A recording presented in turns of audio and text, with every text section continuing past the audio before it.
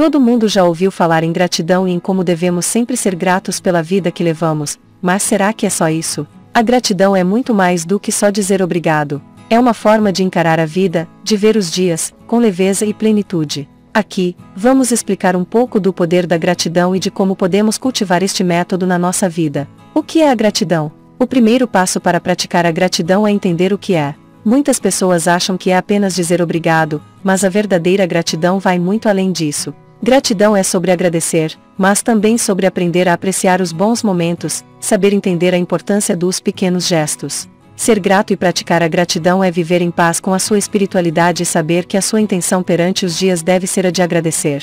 Como cultivar a gratidão?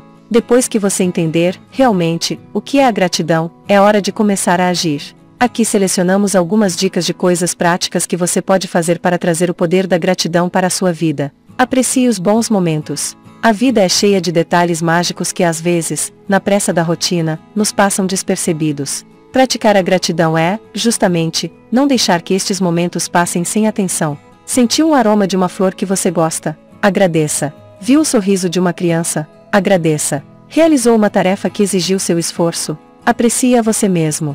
Ser grato é saber que a vida passa rápido e todos os bons momentos, por mais pequenos que pareçam, devem ser apreciados. Cultive o bem. Cultivar o bem é cultivar a gratidão. Você pode fazer isso de várias maneiras no seu dia a dia. Seja gentil com as pessoas que encontra, seja gentil com você mesmo. Cuide da sua saúde, cuide dos outros. Cultive amizades, pergunte como os outros estão. Todos esses gestos são formas de cultivar o bem. Pratique a gentileza e verá que o mundo irá ser mais gentil com você também. Preste atenção nos pequenos gestos. Os pequenos gestos de bondade estão em todo lugar, basta estar atento. Seja grato quando alguém lhe diz um simples obrigado, ou quando alguém segura a porta para você entrar em algum lugar, quando alguém desconhecido lhe sorri na rua. Os pequenos gestos de beleza e de bondade estão por aí, basta você prestar atenção. Seja altruísta. A gratidão não funciona só para dentro. É necessário também colocá-la para fora. Ser altruísta faz parte do processo. Precisamos fazer o bem, senti-lo na pele e agradecer. Por isso, seja altruísta com o mundo ao seu redor. Ajude quem precisa e dê, também, aos outros, motivos para serem gratos. Encare as dificuldades com sabedoria. Quando uma dificuldade aparece no nosso caminho, haja com sabedoria. Não ceda no primeiro impulso.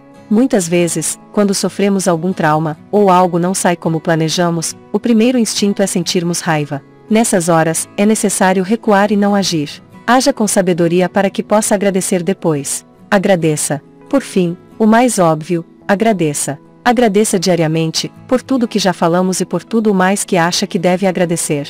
Agradeça por ter saúde, pela sua família, amigos. Seja o que for, mas seja grato. Qual, afinal, é o poder da gratidão? Afinal, o que a gratidão traz para a nossa vida? Qual o poder da gratidão e por que devemos praticá-la? Os benefícios da gratidão são vários. Ela nos ajuda física e mentalmente. Torna o nosso corpo e a nossa mente mais saudáveis. Um dos principais benefícios é a saúde. Pessoas que praticam a gratidão têm menos dores musculares e se sentem mais dispostas durante o dia. Além disso, pode aliviar o estresse e evita a depressão. Outro grande benefício é como a gratidão ajuda você nas suas relações. Agradecer e sentir-se grato é algo que muda nossa relação com o mundo e faz com que consigamos enxergar o outro com mais empatia. A gratidão também traz mais positividade para a sua vida, tornando você uma pessoa mais otimista.